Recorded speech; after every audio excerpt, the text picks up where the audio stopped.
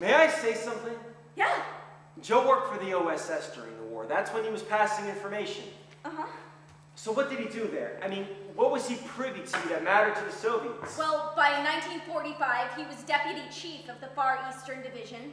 And apparently he had befriended some people in the Soviet division, so he was passing intelligence about both. and this was useful to the USSR how? I, I've read everything I can get my hands on, and none of it seems very specific, but I mean, he, he must have gleaned from his colleagues in the Soviet division some, I don't know, strategies, or that the US was keeping from the Soviet Union.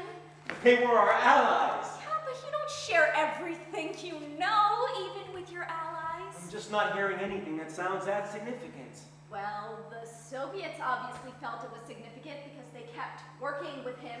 Was he paid? No, and that is not the point. Maybe I don't understand exactly what your point is. He stood up and he.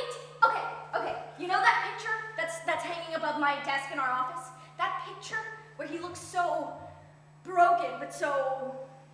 I thought noble. On the day that picture was taken, he stood before. He took an oath and. Okay. He said, listen to this. He said, Gentlemen, may you know this too, that I have never espionage.